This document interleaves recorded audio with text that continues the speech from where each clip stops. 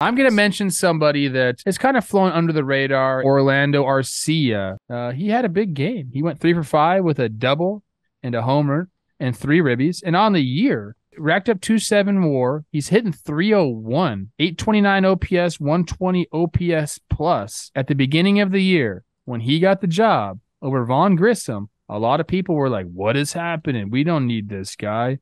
And I said all he needed to do was just be solid, like just be okay. He doesn't need to be an offensive threat. Like he just needs to go catch the ball. He's hit the ball. He's part of this vaunted Braves offense. He's held his weight. I mean, he's got 43 ribbies from your shortstop, 49 runs, 13 bombs. I mean, these are good numbers from a shortstop at at August 11th. He's going to add on to these counting stats. So I'm stoked for him, man. It's That's really awesome. funny because I played with Oswaldo Arcia and he always tell me about his baby brother. And here he is doing his dang thing.